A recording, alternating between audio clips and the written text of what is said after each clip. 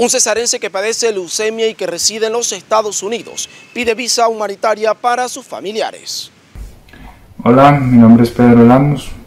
Pide pedirle a las autoridades encargadas, la embajada, el consulado americano, que por favor le otorguen la visa humanitaria a mi madre, a mi esposa y a mi hija, ya que el 22 de diciembre fui diagnosticado con leucemia meloide aguda, eso es un tipo de cáncer que afecta mi sangre, células sanguíneas, eh, para saber qué tratamiento sigue. Entonces, pues yo me encuentro solo acá en Estados Unidos y el tratamiento puede ser duro, puede ser complicado, puede ser largo. Entonces, eh, pues quisiera que ellas estuvieran acá acompañándome en todo el proceso. Entonces, como el doctor dijo que como voy a casarle la muerte a mi hijo, entonces, por eso es que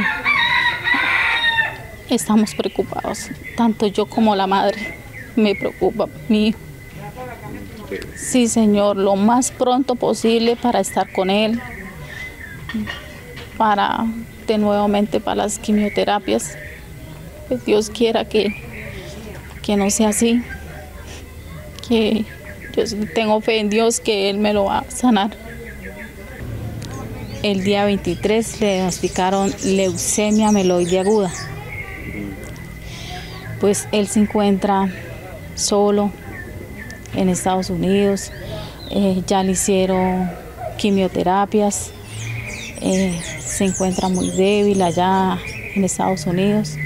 Entonces, lo que yo les pido es que me ayuden con una visa humanitaria tanto para mí como su esposa, su hija, para estar con él en estos momentos. Para brindarle, pues el sueño de él era irse y brindarle una mejor vida a su esposa y a sus hijas.